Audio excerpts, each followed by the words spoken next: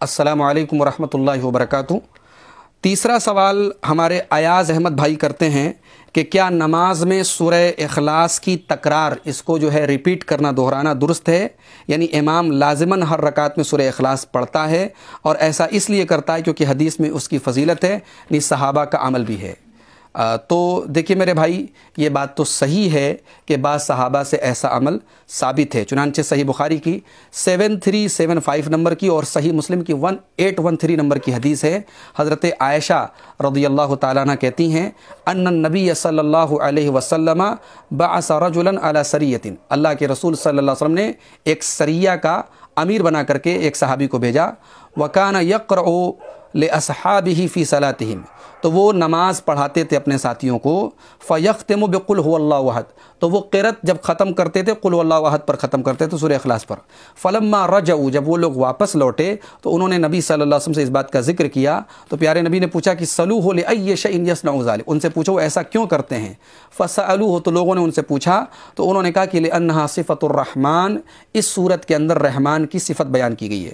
وہ انا احب ان اقر آبہا اور میں یہ پسند کرتا ہوں کہ میں اس صورت کو پڑھوں۔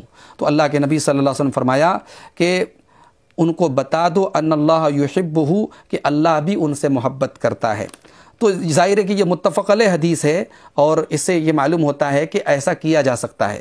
لیکن کبھی کبھی ایسا کر سکتے ہیں، مداومت ہمیشہ ایسا کرنا یہ مناسب نہیں ہے۔ افضل یہی ہے جو پیارے نبی صلی اللہ علیہ وسلم کی سنت تھی کہ آپ بدل بدل کے قرت کرتے تھے۔ آپ آپ کا طریقہ سب سے افضل ہے اور آپ کا طریقہ یہی رہا ہے کہ آپ جو ہے ہر رکعت میں اور ہر نماز میں سورہ اخلاص نہیں پڑھتے تھے۔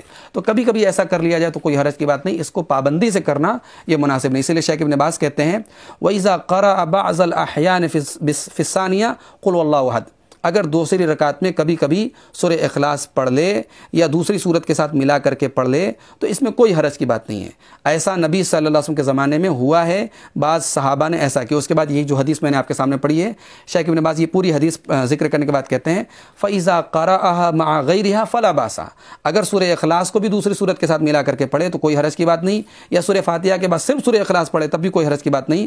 ولاکن تحری سنت نبی صلی اللہ علیہ وسلم و سیر علی من ہی فی القراءت اولا و اولا لیکن قرات کے سلسلے میں پیارے نبی صلی اللہ علیہ وسلم کی سنت کو تلاش کرنا اور پیارے نبی صلی اللہ علیہ وسلم کے منہج پر چلنا یہ سب سے بہتر ہے۔